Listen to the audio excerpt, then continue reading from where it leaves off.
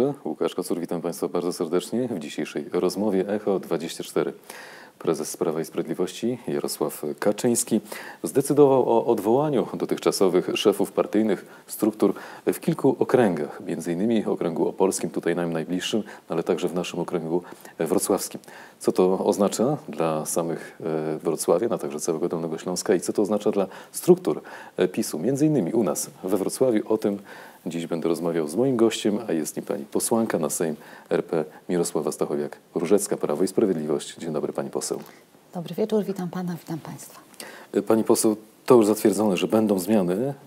Okręg wrocławski wiemy, że zostanie podzielony między innymi e, na, nie okręg wrocławski, przepraszam, tylko dolnośląski, tak, zostanie podzielony na trzy okręgi, wrocławski, wspomniany przeze mnie, wałbrzyski, a także legnicki. E, to spora zmiana, taka mała decentralizacja. No nie, to raczej powrót, to raczej powrót do tego, co było normą od zawsze. W, w, mieliśmy taką sytuację, że Dolny Śląsk składa się z trzech okręgów w sensie w partyjnym, które odpowiadały okręgom wyborczym, pierwszemu, drugiemu i trzeciemu. Tak było zawsze. Mm, potem przyszedł taki moment, gdzie powinny być kolejne wybory szefów okręgów, ale ze względu na wybory kolejne, które występowały jedne po drugich, te wybory zostały przesunięte i mieliśmy taką właśnie sytuację, gdzie mieliśmy okręg regionalny, na czele którego stał e, Adam Lipiński, oczywiście świetnie wywiązując się z tego zadania. Dziś, kiedy te wszystkie wybory za nami i pierwszy rok rządów, no to pora wrócić e, do sytuacji, która jest naturalną dla struktur partyjnych, a więc wracamy do tych okręgów odpowiadających, odpowiadających wyborczym, wybierzemy szefów, no i partia w tym wymiarze po prostu będzie działać, funkcjonować normalnie. To jest oczywiście potrzebne i to jest naturalna rzecz. Rzeczywiście tak były dostosowane właśnie pod wybory, było ich 41, no ale powiedzmy proszę, bo pojawiają się teraz takie oto głosy. Partię na całym Dolnym Śląsku rządził do tej pory Adam Lipiński, przypomniłem wiceprezes e, Prawa i Sprawiedliwości. No i tak, Wroc Wrocław, tutaj pojawia się imię pana posła Piotra Babiarza. Jeżeli chodzi o Wałbrzych, minister Anna Zalewska. I jeszcze mamy jedno nazwisko, e, jeżeli chodzi o Legnicę, Adam Lipiński. Adam Lipiński, tak. Dziękuję pani poseł. Czy rzeczywiście, bo o Wrocław chciałem zapytać, to tak będzie, że nazwisko pana Piotra Babiarza możemy już e, czytać jako wiążące? Na razie mamy sytuację taką, że pan Piotr Babiarz, Anna Zaleska i Adam Lipiński zostali oddelegowani na pełnomocników, którzy mają przygotować wybory, które będą się w tych okręgach e, odbywać. We Wrocławiu akurat będziemy mieć wybory w naszym okręgu w ostatni weekend e, listopada.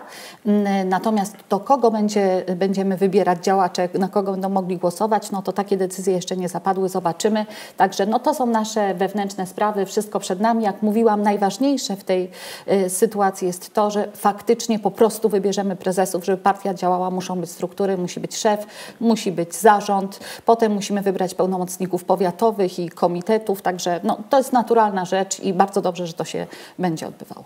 A proszę powiedzieć pani poseł, czy pani również bierze pod uwagę, że to pani właśnie może objąć ten okręg wrocławski, no bo gra idzie jednak o dosyć sporą władzę, to państwo w przyszłości byście wybierali te osoby, które później znajdą się potencjalnie o, w parlamencie. Nie, panie redaktorze, tu nie chodzi o posiadanie władzy, tylko o to, żeby partia w danym okręgu po prostu funkcjonowała jak najlepiej.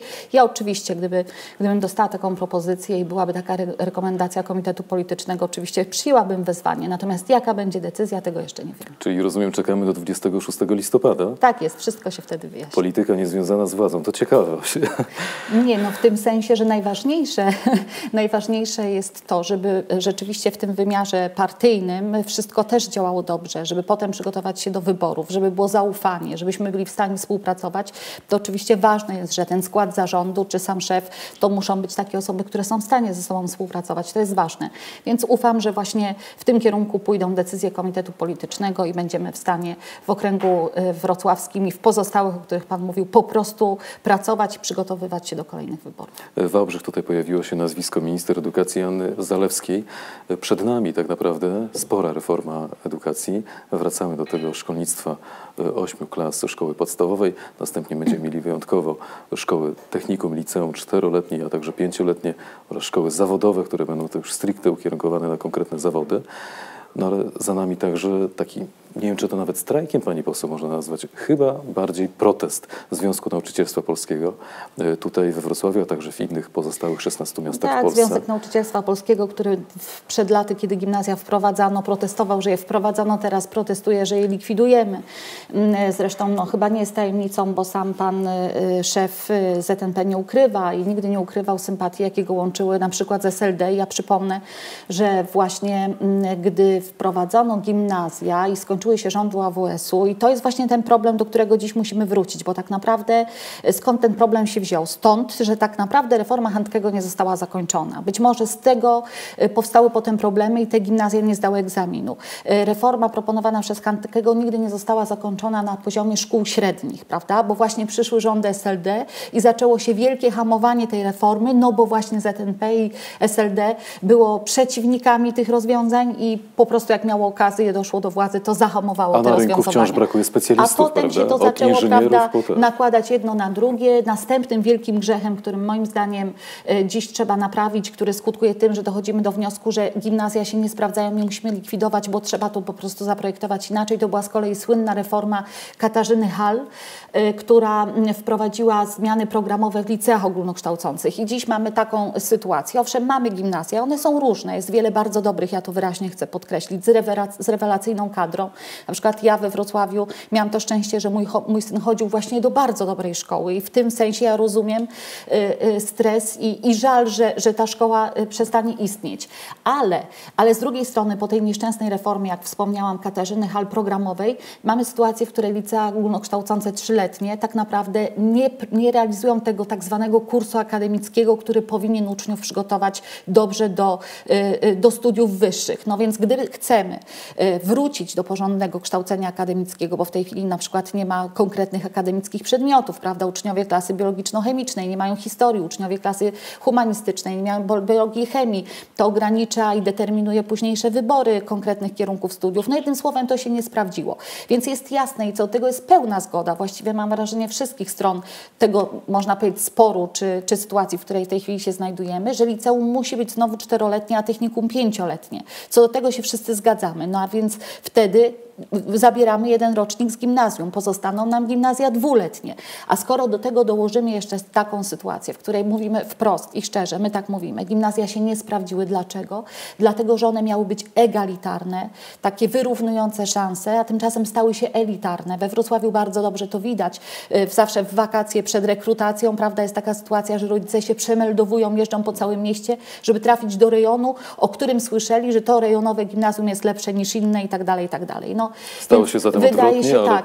Wydaje się, że jednak kiedy stawiamy, naszym priorytetem jest właśnie to bardzo dobre przygotowanie do studiów, kształcenie akademickie, kształcenie zawodowe również w technikum, no to wtedy ono musi być nie czteroletnie, tylko analogicznie pięcioletnie. Żeby te warunki spełnić, no to, to z czegoś trzeba zrezygnować. Więc wracamy do ośmioletniej szkoły podstawowej, cztero i pięcioletniej szkoły średniej plus y, y, szkoła branżowa zawodowa trzy bądź pięcioletnia. I wydaje się, że to są dobre rozwiązania. Oczywiście w tym wszystkim trzeba podchodzić bardzo z dużą wyrozumiałością, zwłaszcza do tych y, nauczycieli, bo oni są, to jest dla Tym mnie bardziej, oczywiste. że wiemy o zwolnieniach, których też nie unikniemy, zarówno kadry pedagogicznej, Właśnie, że nie jak będzie zwolnień, dlatego teraz, jeśli Pan pozwoli, rozumiem y, stres i niepokój, zwłaszcza tej grupy nauczycieli, która jest zatrudniona w gimnazjum, no bo jest oczywiste, że nie będą już pracować w gimnazjum, więc niepokój jest oczywisty.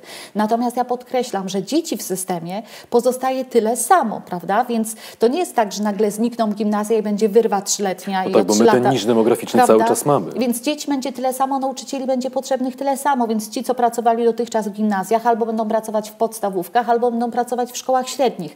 We Wrocławiu prawdopodobnie, y, i to byłoby najlepsze rozwiązanie i sądzę, że w tym kierunku władze miasta pójdą, po prostu zmienimy rejony y, szkół, tak? Czyli dla przykładu, jeżeli dziś mamy mm, szkołę podstawową dla y, Kleciny, szkołę podstawową dla Oporowa, to są dwa oddzielne rejony, to oni mają jedną szkołę rejonową rejonową gimnazjalną dla tych dwóch rejonów. No to w tej sytuacji najprościej jest zrobić trzy rejony i gimnazjum, które w tej chwili jest na Morelskiego, będzie po prostu trzecią podstawówką w tym rejonie. Budynek zagospodarowany, kadra bardzo dobra zagospodarowana i to tak naprawdę można w ten sposób zorganizować. Dobra szkoła i dobre wykształcenie naszych dzieci to naprawdę nasz wielki priorytet. Plus jeszcze finanse na to wszystko, bo tutaj tylko samorządy widzą niebezpieczeństwo, ale chciałem zapytać o co Tak, innego, pani pani minister poseł. gwarantuje, y, gwarantuje, że środki y, na te zmiany także będą zagwarantowane z budżetu y, państwa. Także y, y, tu w tej sprawie na pewno dotrzymamy słowa i będziemy samorządom pomagać. Wiemy, że na dzień dzisiejszy to nie jest partner polityczny, jeżeli chodzi o związki nauczycielstwa polskiego, bo to za mało, żeby coś uzgodnić, ale pani poseł, oni również mówią wprost, znaczy domagają się na, dzień, na, na chwilę obecną od minister Anny Zalewskiej wycofania z projektowanych zmian w oświecie zawartych w dwóch projektach ustaw. To znaczy trudno też usiąść do stołu, kiedy ta druga strona mówi, no reforma jest zła z założenia. No, wydaje się, że było dużo czasu, żeby rozmawiać. No, pan Broniarz ma za sobą y, nawet y, na sumieniu coś takiego. Dzisiaj mówi, że nie było debat, a tymczasem nie skorzystał na przykład z y, możliwości rozmawiania w, przy panu prezydencie. Były takie inicjowane spotkania i on w nich nie brał udziału. Debaty trwały przez cały rok. We wszystkich miastach wojewódzkich były organizowane.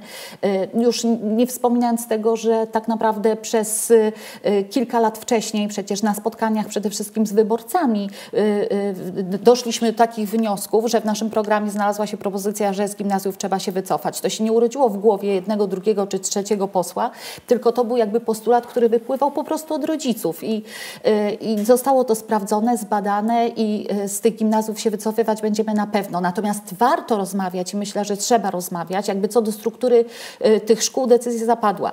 Natomiast ja sama na pewno będę brała aktywny udział w rozmowach, kiedy będziemy już pracować nad ustawami w komisji, y, no bo faktycznie jest tam tak wiele szczegółów różnych, że, że niektóre być może faktycznie nie znajdą zrozumienia w, w tym szerokim gronie, a, a, a można po prostu je zmienić na tym etapie, tak? Czyli nie zmieniamy co do zasady tego kierunku, że ta organizacja szkół się zmieni, ale w wielu szczegółach naprawdę możemy rozmawiać.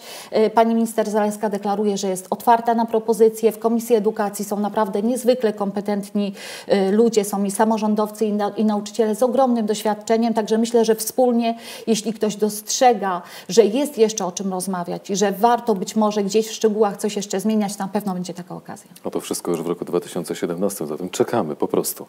E, Pani poseł, chciałbym zmienić temat. Prezydent Wrocławia Rafał Dudkiewicz realizuje politykę przerzucania kosztów na samorządowe spółki, co dalej cytuję, w praktyce pozwala uciec od tak zwanego oficjalnego długu. Jeden z radnych, Krystian Mieszkała, dokonał takiej analizy w latach 2013-2015. Wynikało w niej, z niej wprost, że miejskie spółki nie radzą sobie najlepiej, no i Wrocław tak naprawdę jest zadłużony na kwotę ponad wtedy 223 milionów złotych.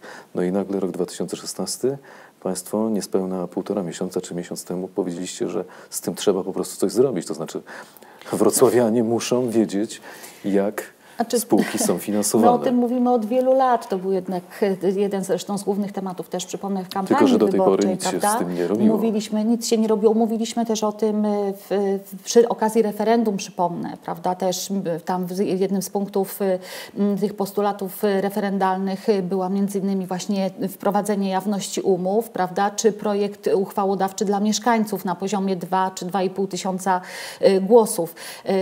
Mieszkańcy to zauważają, oni takie projekty wspierają, także e, t- taka kwestia jak na przykład e, jawność umów, która na razie jest tylko rozwiązaniem PR-owskim, a nieprawdziwym, absolutnie powinna być przez Rafała A na czym Dudkiewicza ten PR poprawiona. pani poseł polega w takim razie? Na tym, że nie widzimy tych umów tak naprawdę. To znaczy teoretycznie mamy rejestr umów na stronach. Ja już pominę, czy on jest czytelny mniej, czy bardziej. No, ktoś zdeterminowany myślę, że jest w stanie dotrzeć tam do informacji, choć mogłoby to być bardziej przejrzyste, ale nie ma tam ciągle na przykład to, na co Pan zwraca uwagę. No, wiemy, że dług jest przerzucany na spółki, zadłużenie miasta, a tymczasem w tym rejestrze umów spółek nie widać. I nie wiemy, na co wydatki więc publiczne nie wiemy, są o co chodzi. Więc jeżeli tak wygląda sytuacja, jeżeli te pieniądze publiczne są również w publicznych spółkach, bo przecież spółki miejskie są publiczne, to my naprawdę nie rozumiemy, dlaczego wobec tego w rejestrze y, ten rejestr nie zawiera również umów spółek. Ten rejestr nie zawiera także nawet y, zawiązywanych przez gminę umów zleceń i umów o dzieło. Też zupełnie niezrozumiała sytuacja.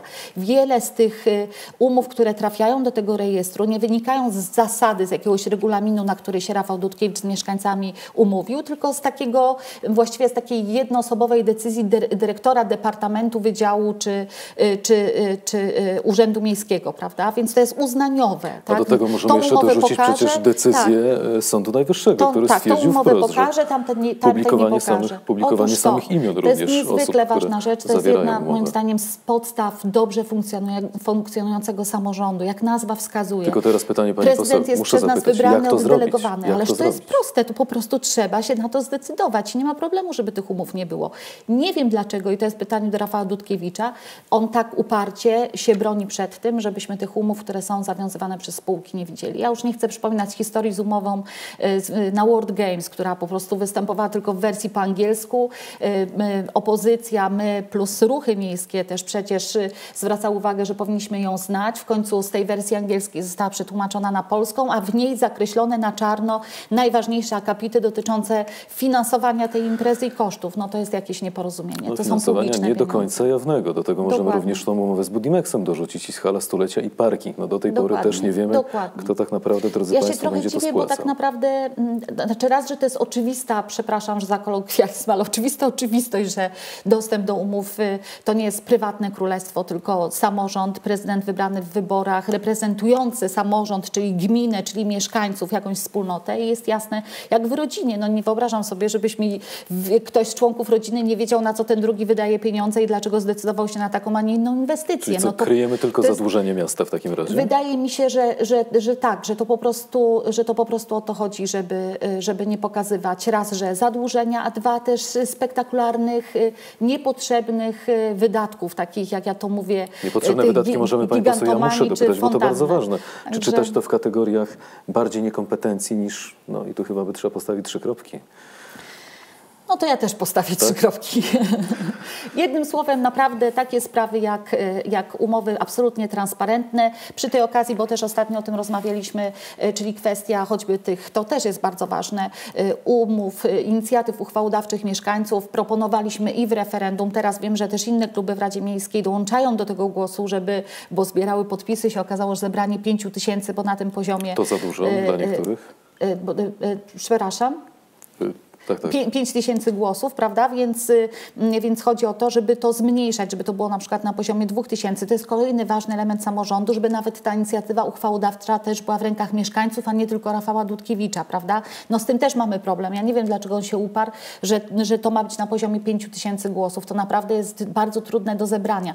Kolejny problem, na jaki zwracaliśmy uwagę, to że w końcu jak nawet te 5 tysięcy mieszkańcy sprawdzą, to właściwie dlatego postulowaliśmy zmiany w statucie, to właściwie nie ma żadnych zasad, na podstawie których Rafał Dudkiewicz, jak już ma te 5 tysięcy głosów, to musi to poddać pod obrady Rady Miejskiej. Więc my tu też postulujemy y, zmiany w statucie, żeby to było 14 dni i musi prezydent po prostu zweryfikować, czy rzeczywiście jest 5 tysięcy, czy nie ma. Jeśli tak, to proszę natychmiast y, na obrady Rady Miejskiej głosujemy. To prawda? może pani poseł, jak w przypadku zniesienia opłaty targowej, szukać pomocy na przykład u nowoczesnej, bo jednak, pomimo tego, że nie wiadomo, kto tak naprawdę skradł ten pomysł, czy to nowoczesna, czy może Prawo i Sprawiedliwość, bo do tej pory państwo nie możecie tego ustalić, ale ponad podziałami da się coś zrobić.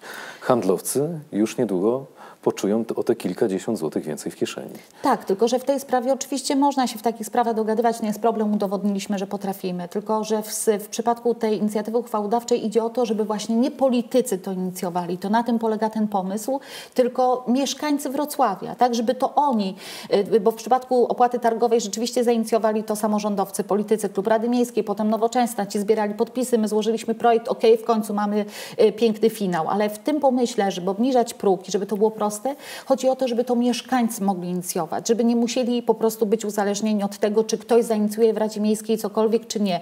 Więc idzie, w, dlatego istotne jest, żeby ten próg był, y, żeby ten próg y, zbierania podpisów był jak najniższy i żeby potem ta procedura, kiedy się te podpisy już pozbiera, była prosta i przejrzysta, żeby mieszkańcy, broń Boże, jak już się postarają, podpisy pozbierają, nie mieli uczucia, że to potem w otchłaniu urzędu gdzieś znika i nie wiadomo, co się z tymi podpisami dzieje. To musi być ustalone do końca i transparentne.